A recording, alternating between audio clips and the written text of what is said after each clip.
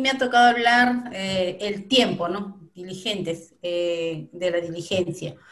Bueno, como, como todas sabemos, este curso, eh, estamos en nuestro número 18, terminando nuestro curso, y es un claro ejemplo de una motivación de diligencia. Tenemos 18 puntos que hemos estudiado para aplicarlos en, nuestro caminar, ¿no? Como yo digo, es, el Señor siempre llega a tiempo. Él llegó este tiempo para nosotros aprender o de repente reforzar, ¿no? Estos 18 puntos que hemos tenido durante esto, este tiempo estudiando. Y estos 18 puntos son claramente motivaciones de parte de Dios que nos está mostrando eh, y lo que nos queda a nosotros es ser responsables, esforzarnos para aplicar cada, cada punto que hemos estudiado, ¿no? Porque este, este, este curso, que es este, Sabiduría de la Mujer, ha ido desde nosotras, nuestros hijos, nuestro matrimonio, nuestra alimentación, hasta nuestra manera de vestir, y entonces yo creo que tenemos eh, el material suficiente como para iniciar eh, esta carrera, ¿no? Y como siempre voy a este, recalcar, mm, nuestra principal motivación es nuestro Padre Celestial.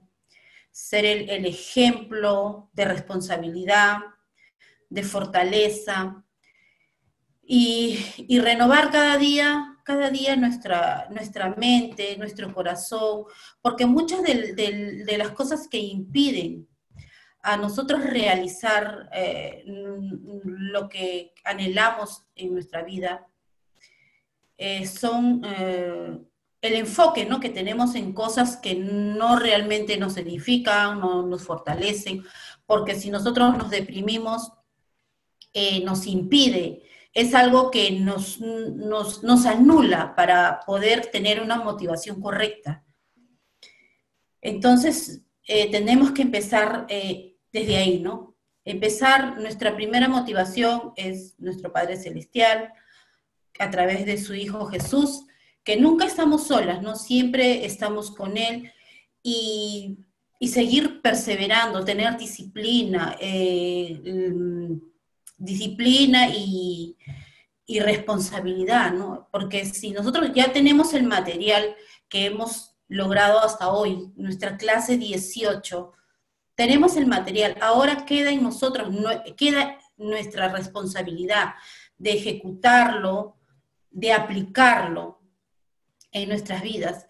Esa es una de las motivaciones en este tiempo, en este momento que yo tengo en mi vida, ¿no? Ya tengo el material, ya tengo mucha enseñanza con respecto a, este tema que hemos tratado, ¿no? de la sabiduría de la mujer, de la sabiduría de Dios en nosotras, específicamente en las mujeres.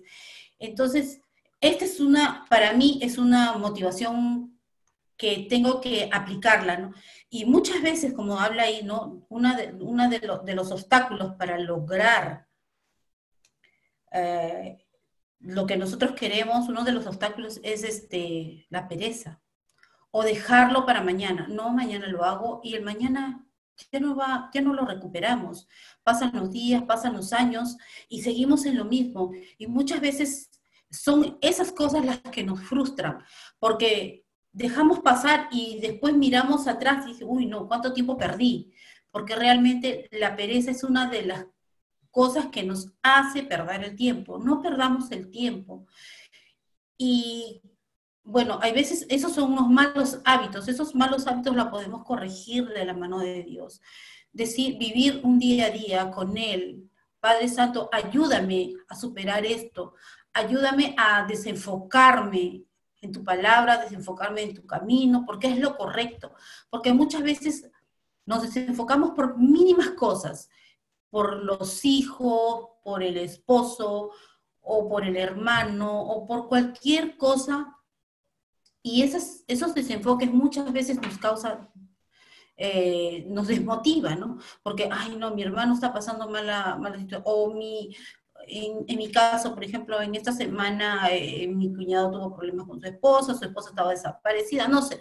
Entonces, esas cosas como que te desenfocan. Entonces, hay que entregar todas esas cosas al Señor, porque nosotros, como le dije a mi esposo, nosotros no somos Dios para solucionarles la vida. Obviamente, son personas, parte de nuestra familia, que sí nos afecta, pero hay que aprender a delegar, a entregarle al Señor esas cosas que no la vamos a poder solucionar nosotras, porque eso también quita nuestra motivación, nos desenfoca de lo que, a donde queremos llegar, a donde Dios quiere que nosotros lleguemos, chicas.